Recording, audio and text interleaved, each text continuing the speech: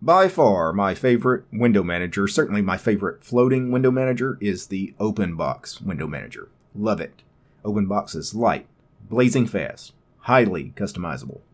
So today, what I think I'm going to do is I'm going to install an OpenBox session on top of Arch Linux. I have a base Arch Linux install. I've already run through the base install, uh, where you read the wiki and you go through all the steps to get the base installation done of Arch, but I have not installed Xorg. I haven't created any kind of graphical environment of any kind. It's still basically just a server at this point. So today I'm going to go ahead and set up a proper desktop on this base install of Arch Linux I have, and I'm going to go with the OpenBox window manager. So let's get started.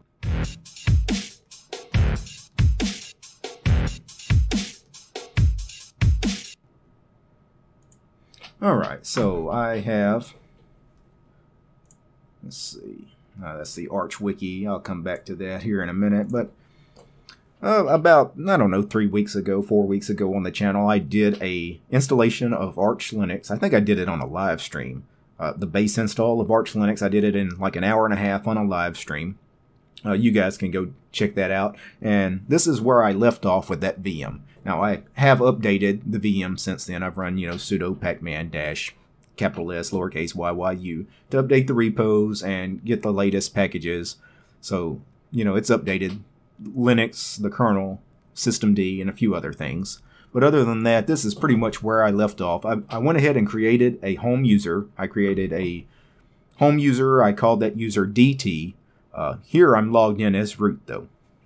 And First thing we need to do is I need to go ahead and get Xorg installed, the X11 server, uh, because to have any kind of GUI, you have to have Xorg on, on your machine. So sudo pacman dash capital S for install, and then Xorg dash server, I believe is the package.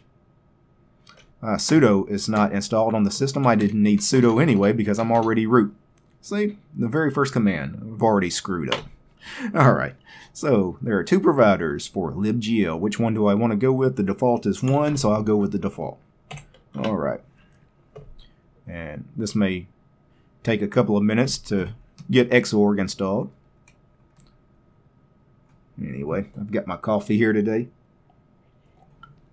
It's very important to always have a cup of coffee for these kinds of things because I've installed, you know, Arch a bunch of times and I've already passed like the hard part, the base install. And of course I've installed and configured OpenBox a million times. So there really shouldn't be anything thrown at me that I haven't seen before. But you know, this is Linux. You never know what's going to happen. Always have coffee on hand. Anyway, I'm going to pause the video for, for a minute. Let Xorg finish installing here. Okay, so Xorg finished installing. Now we have the X server, so now we can install, you know, all our graphical programs, all our GUI programs. So sudo pacman dash capital S again. Some of the GUI programs I know I'm going to need, I'm going to need a login manager. I'm going to go with LightDM. So LightDM.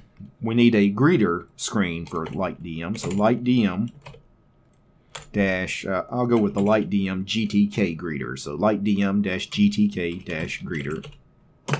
That takes care of our login manager. Now our desktop environment or window manager. Today I'm going with OpenBox, so OpenBox. Also, we need the OpenBox configuration manager, so obconf, C-O-N-F, OpenBox config, space. I'm going to need a file manager. PCManFM is a great, lightweight, fast file manager. I'm going to need some kind of panel or dock. Uh, I like Tint2, T-I-N-T 2. It's a very nice, lightweight, easy to configure panel. So the Tint 2 panel, you guys could also install something like the LX panel, the standard panel in LXDE, or you could go with a dock like Plank or Docky. Me, I'm going to go with Tint 2. Alright, so we have our login manager, window manager, file manager. We have a panel. We need a terminal very important. We definitely need to install a terminal emulator of some kind. Uh, Xterm is a good one to go with. Uh, I'm also going to install Termite. That's another good one. So I'll have two terminals. Just in case one doesn't work as expected, Uh, it's nice to have a couple of terminal emulators on the system. All right, what else do we need? Uh, I'm going to try to install everything I need up front. Uh, I'm going to have to set wallpaper. So Nitrogen is a good program to set our wallpaper. Uh, we're also going to need a text editor. Now, VI is on every Linux system, so we already have VI. Nano is probably also here, but what if we want to use a text editor that is not a terminal-based text editor? So I'm going to go with, you know what, I love Geany. So I'll install Geany, but you could install something like Mousepad, LeafPad, Featherpad, any of those plain text editors. There's a million of them in Linux. Uh, what else do we need? Let's see. What am I missing here? You know what? I think for now, we'll just run that. Uh, again, I, I tried to install something using sudo. You know what? Let me go ahead and install sudo anyway, because my home user, the DT user I created, is going to need sudo privileges anyway, so we'll get sudo installed. And I'll pause the video for a minute. Alright, so we installed LightDM, our login manager. We need to go ahead and enable that service. So in systemd, systemctl space enable space lightdm dot, dot service. You guys can check this out in the Arch Wiki if you have uh, any questions or concerns about how to get LightDM configured, but basically you install it, you install a greeter, then you enable the service with systemd with systemctl space enable space lightdm.service. Now that we've done that, if I reboot the machine, I don't know. Will this boot directly to LightDM? We'll see. Let's get past the grub bootloader here. I usually have pretty good luck installing LightDM in Arch. Usually it just works, and in this case it does. This is LightDM, our login manager. Uh, do we have any sessions to log into? Yep, just the one that we set up already, OpenBox. So we installed OpenBox. It's already got an OpenBox session. Let's log in. And this is OpenBox. Yeah, that's OpenBox. There's nothing to OpenBox by default. You don't have a wallpaper, you don't have a panel. All you have is a right-click menu. Now, the right click menu actually is populated with some stuff, but these are hard coded uh, by default. And if you don't happen to have these programs installed, all these links are just dead links. Like Firefox, I could click on it, but I didn't install Firefox. matter of fact, I didn't install a web browser of any kind. And that's one of the big things I, I, I missed earlier. I, I, installed Window Manager, File Manager, Login Manager, and I was asking, what else are we going to need? We're definitely going to need a, a, web browser at some point. Even you know because you you may have to get support, look up things in the Arch Wiki. So I messed that up. I, I should have installed a web browser. One of the first things I should have installed actually. But anyway, I'm going to open up a terminal. Hard coded here is Xterm is in here. Remember I installed Xterm and Termite. So luckily they had Xterm linked here, so I can get to an Xterm. Uh, if I type tint2, here's our tint2 panel. Let me open up another instance of Xterm. If I type nitrogen, we could choose wallpaper here, but the problem is we didn't install any wallpaper packs of any kind. So, how about sudo pacman dash capital S. Gnome dash backgrounds.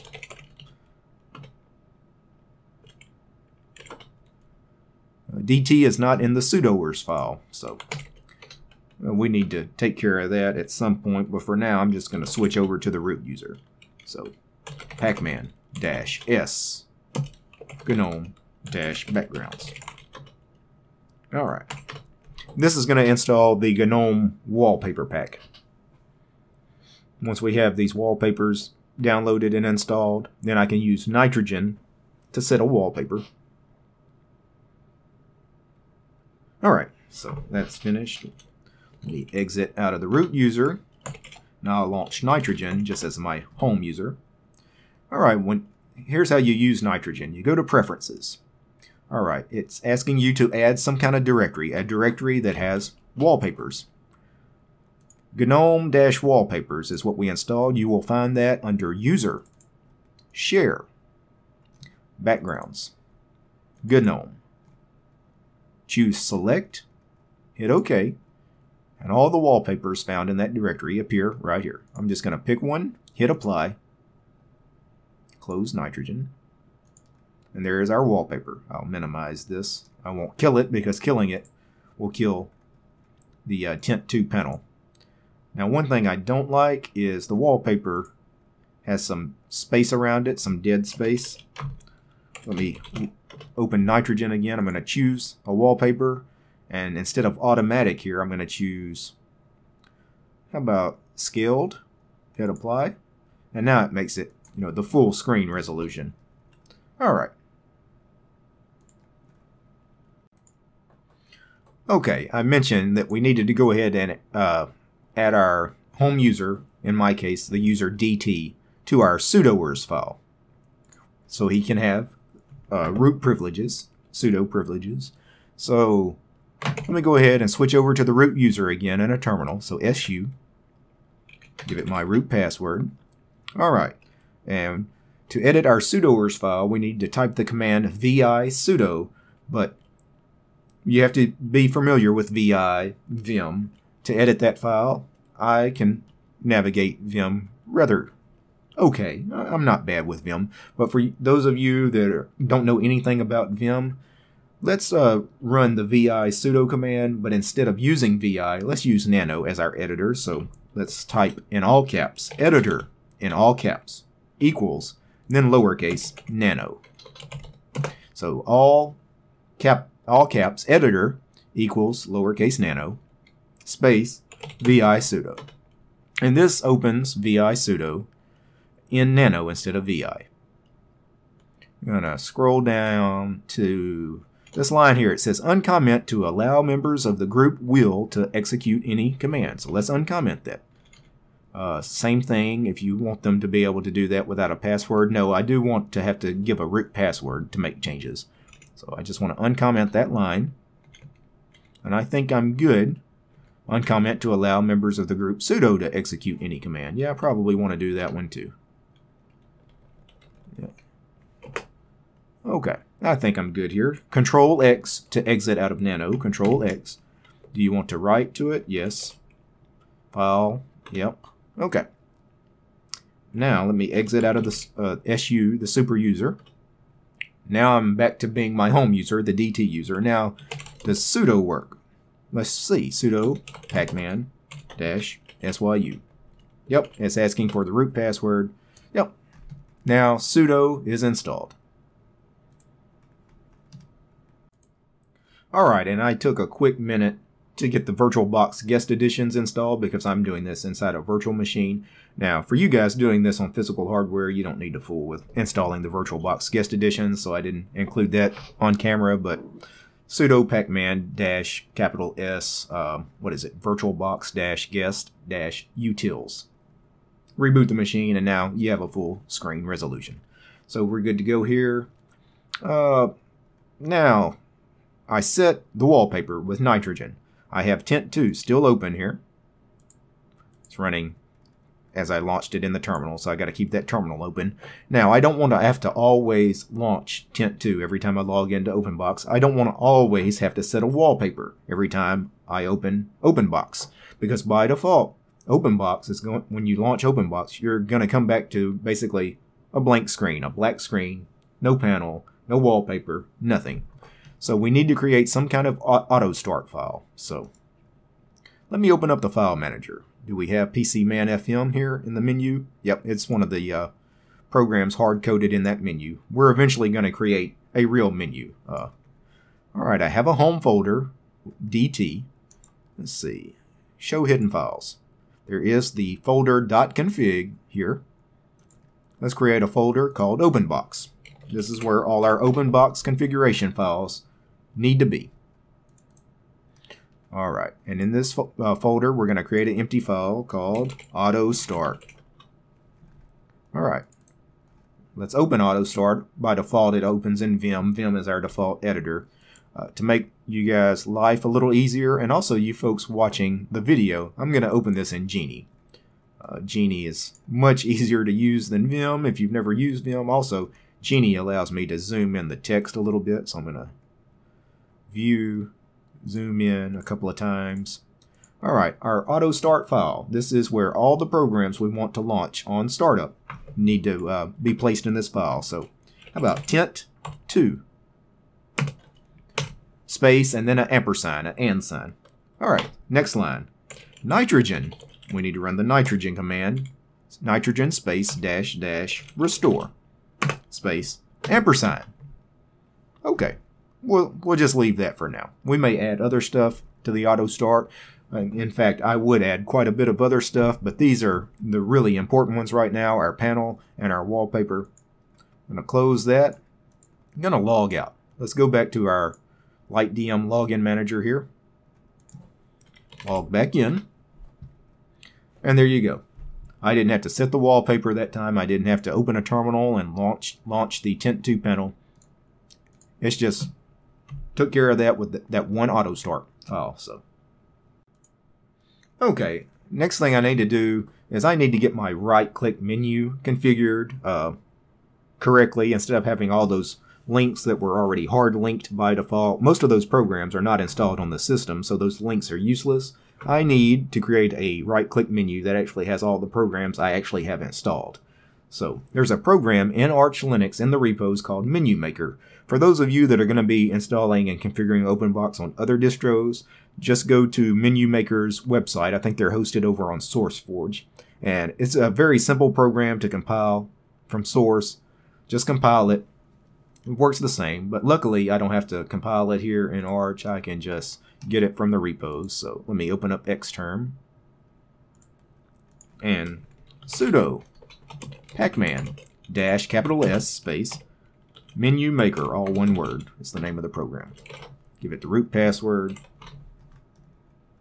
And now to run menu maker, you type uh, mmaker uh, open box. And then I believe I have to give it a couple of flags. I need to give it dash F space, and then dash T for terminal, I think. And then I need to specify a terminal. So space xterm. Yeah, I think that was the command. I actually had to think about that. I haven't run that menu maker command in a long time, but I believe that is the command. So now I need to restart or reconfigure OpenBox. So go to System, reconfigure OpenBox. Now, we need to, okay, that's it. That's our new menu. See how the menu changed? And now it actually includes programs I have installed. I actually have Nano, VI, and Vim. You know, I have Geany, Python, games. I don't have any games. I don't think Pac-Man is here. Uh, network, Avahi, FTP, Mail, Talk. You know, all the stuff that was part of the base install. And then, of course, the shells or the I, I installed all of these. PCman FM is our file manager. Termite and Xterm I installed for terminals. Uh, and that's basically it. Tint2 is here. Top one of the GNU utilities already installed on the system. Alright, so now we have a menu. So we have a, a menu with all our programs. We have a panel. We have wallpaper. What's next? Well, I think the next thing I want to do is to speed this along a little further, uh, I mean, I've got pretty much a working desktop now. I could live in this as is. At least I've got a menu, I've got a panel, I've got a terminal. Uh, I haven't installed a web browser yet, have I? Did I take the time to install Firefox yet? No, I have not. I need to do that. The next time I install something, I may go ahead and uh, add Firefox to the list of things I need to install here. But to speed this along, I'm going, going to go over to my GitLab repo at gitlab.com slash DWT1. That is my GitLab page, and I have three three different repos hosted over at GitLab. I'm going to go to my dot .files repo. And in my dot .files repo, you will find configurations for OpenBox uh, my pipe menus, auto start, menu, RC. What I'm going to do is I'm just going to clone that whole dot .files repo and pull out everything I need and uh, go ahead and get this open box session set up the way I like it. So I'm going to take a couple minutes and pull down that repo. Alright, so I installed Firefox. I went ahead and pulled down my dot .files repo. Now it pulls it down as a zip file. I already know I didn't install zip or unzip or anything on the system yet, so let me go ahead and go to my right click menu under shells. I've got termite. So let me open up the termite terminal and sudo pacman dash capital S unzip. I need to install unzip to be able to unzip that zip file. Alright, now when I open up shells PCMan-FM, alright. I go to my downloads folder there is my dot files. Now I need to extract it with unzip. Of course I could do that through the command line, but let's do a graphical archive manager. Let's go ahead and install a proper archive manager of some kind. So sudo pacman-s about xarchiver. xarchiver, all one word. Alright, now when I right click on it, yep, open with xarchiver. Extract here. Yep, let's go ahead and extract it. Now I have my dot files. Let me open up another instance of PCMan-FM. In one instance of PCMan-FM, I'm going to go ahead and navigate to the .config folder, OpenBox. Now this is where our configuration files for OpenBox have to go. Now I'm going to open up my files folder here, go to .config, .openbox, and you know what? I'm just going to copy. I'm going to copy these pipe menus over. I'm going to copy my RC XML over. And I think that's good enough. Let me reconfigure OpenBox. So right click, go to OpenBox, reconfigure. Yeah, and that already changed some of what was going on here. Also, if it configured OpenBox the way I used to have it, the window with focus now, yep, has my key bindings. Yep, for pseudo tiling very cool. Very cool. All right. Let me go ahead and straighten that back up. Now, so it's got all my key bindings. By the way, let me open up the RC XML file so you'll see what I'm talking about there. Let's move all of this out of the way. Let's go ahead and view, zoom. I'm going to zoom in here in Geany. This is the RC XML for OpenBox. This is where you set all your key bindings, your mouse bindings, all of that. Uh, for example, some of what I've got here, Control Alt Right goes to the desktop to the right. Control Alt Flip, Control Alt Left goes to desktop to the left. Uh, a lot of this is in the default OpenBox rc.xml, but then I've added a lot of extra functionality. Uh, the Windows key and lowercase d is toggles show desktop. So all the windows that are on the desktop go away. Windows key, super key, and D brings them all back up. And so forth and so on. And you saw some of the pseudo tiling I've got going on. That stuff is actually right here, a lot of that. Alright, let me minimize Geany. Alright, another thing other than configuring OpenBox, I also want to get Tint 2 looking a little better. So I'm going to go back to the .config folder. There should be a folder in the .config folder called tint2, and there is. And it's got the tint2 RC. This is the tint2 configuration. Now I'm going to go back to my .files repo that I downloaded, go to .config, tint2, tint2 RC, and I'm also going to import these launchers here. Copy that over here, overwrite.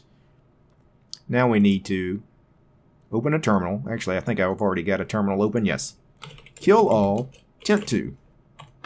Kills Tint 2. Now let's relaunch Tint 2. Oh yes. I like this theme a lot better. Oh yeah. Now, I like the Tint 2 theme a lot better now. What I don't like, I don't like the OpenBox theme. I don't like the GTK theme, and I don't like the OpenBox uh, window border theme. I really want to change those. Uh, in my GitLab repo, I have a theme saved. Let me go pull that down. So I'm going back to my GitLab page under personal projects. Other than the .files repo, I also have a repo called DT Dark Theme. It's a very original name. and this is basically a GTK theme uh, that I've kind of hacked on a little bit. I haven't done much with it. It's not perfect by any means, but it does what I need it to. I'm going to go ahead and download this. Should just take a second. It's not a very big file. Alright, now let me open up a file manager again. Go to downloads. Here is DT dark theme dot .zip. Let's extract it here. Alright, now we need to move this into our slash user slash share slash themes folder. Uh, to play around in the slash user slash share slash themes folder, we need to be root user. Uh, to, it's much easier to do all this in the terminal when you have to go ahead and switch over to the root user. So uh, let's go ahead and sudo. And you know what? I'll just launch PCMan FM as sudo. So this launches PCMan FM with root privileges. So go to the downloads folder, DT Dark Theme Master, the unzipped one. I'm going to copy it with Control C. Then I'm just going to change the directory, user, share, themes. I'm going to copy DT theme, Dark Theme Master right there. And now we can change our theme. To do that, we need some kind of uh, program to change our theme. I didn't install it by default, uh, you know, earlier on, so I need to do it now. sudo pacman dash capital S LX Appearance is a good program for us. LX Appearance, all one word. Let's get that installed. All right, now let's, you know what? We need to add LX appearance to our right click menu. To do that, we need to run menu maker again. So I'm going to hit the up arrow key until I get back to that command. Yep. mmaker open box dash f dash t xterm. All right, now under utilities or system maybe, system settings, yep, desktop preferences right there. That is LX appearance. Nope, that's not. Okay. I wonder where it's at here. I would have thought that would be it, but it's not. Preferred applications, that's not it either. Hmm. You know what? I'll launch LX Appearance from the uh, terminal. Just type LX Appearance. All right, here it is. Let's switch over to DT Dark Theme Master. Hit Apply. Okay, that looks good. I also need to change the open box theme, which is the window border. So to do that, we need to go to OpenBox, uh, actually, System probably, Settings, OpenBox Configuration Manager. Remember we installed OBCONF, OBConf? This is the OpenBox Configuration Manager. In here somewhere should be DT Dark Theme Master. That's it. And now we have our dark OpenBox theme. OpenBox is the window border and the right click menu. That is OpenBox. All right, close close, close. I'm actually going to exit out of open box. Go back to the login manager. Let's log back in. Yep, and my Tint 2 theme has been saved. My open box theme has been saved. Now there's still some work to do. I don't like the icon set. I didn't I don't have any fonts installed. Uh, I don't like whatever fonts these are. the, the default sans font or you know, I want to install the Deja Vu font family. I want to install the Ubuntu font family, uh, some other font families along the way. I want to get better icon themes installed. But you know what? For now, that is a pretty usable open box session that took me, you know, all of, I don't know, a half hour maybe to get to this. And that was doing it from scratch. I mean, no Xorg, no LightDM login manager, nothing uh, really, on most systems where you have a lot of this stuff, a lot of these programs already installed, Firefox and your text editor and your terminals, you can be up and running like this within 10 minutes. Again, if you need some help, pull all my config files down from my GitLab repo. I'll link to my GitLab repo in the show's description. Just uh, just steal all that from me, borrow it, uh, hack away at it uh, to your liking, and uh, and you'll be set, guys.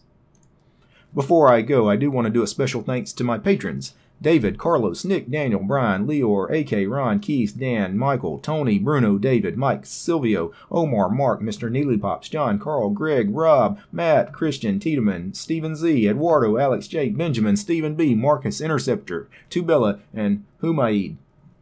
Appreciate you guys. You guys help make this show possible. Peace.